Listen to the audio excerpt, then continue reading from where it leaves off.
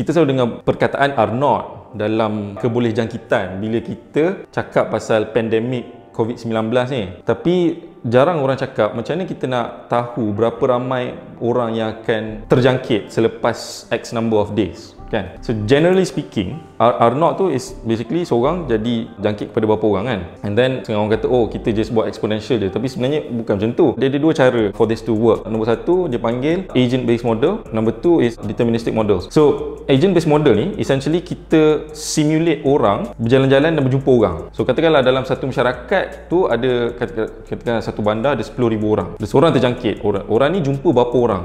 Dia pergi mana? Dia pergi mana? Berapa lama dia duduk kat situ? Lepas tu kita letak probabilities and weightage so on so forth. So one of the first papers yang cakap pasal COVID-19 ni yang paper dekat uh, Imperial College bulan 3 tahun lepas kalau tak silap sudah setahun lah setahun lebih dia guna model ni. Dia guna model agent based model. Bila dia buat model tu dia punya line tu akan dia tak straight kan? Sebab kadang-kadang orang ni jumpa lagi ramai orang sebab dia guna probabilities kan? Kata kalau dia jumpa ni berapa probability dia untuk terjangkit and so on so forth. So ada satu hari mungkin probability dia tu semua rendahan. So dia akan naik macam tu. So ada hari lain rendah sikit dia akan turun naik so dia tapi generally dia akan nampak macam tu lah. So that's one kind of model. Apa masalah dengan model ni? Model ni requires you to know interactions between people. Yang tak semestinya sama. Contohnya kalau kita pergi sekolah mungkin hari ni kita pergi sekolah esok tak pergi sekolah ataupun mungkin kita tak pergi kerja seminggu lepas kita pergi kerja seminggu. So you need to be able to get accurate data of all of everyone lah within within that sample which is not easy that's one thing Nombor dua ialah dia computationally expensive sebab kita nak simulate 10,000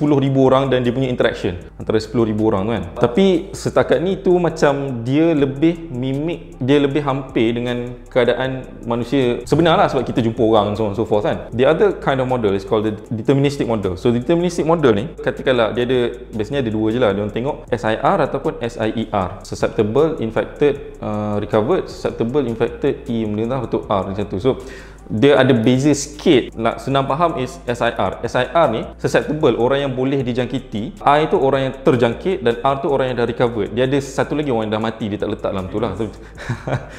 Ha? remove. Uh, ah remove. Ah ya betul. So R tu remove eh?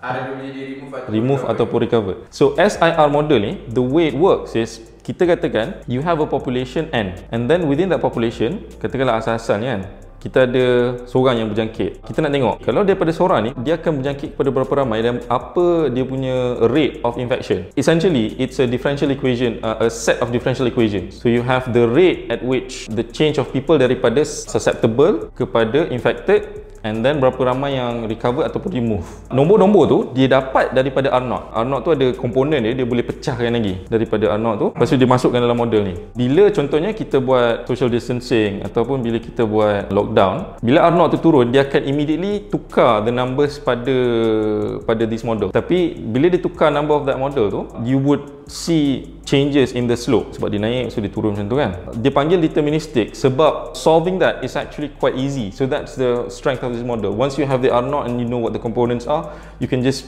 put it in the equation and run it.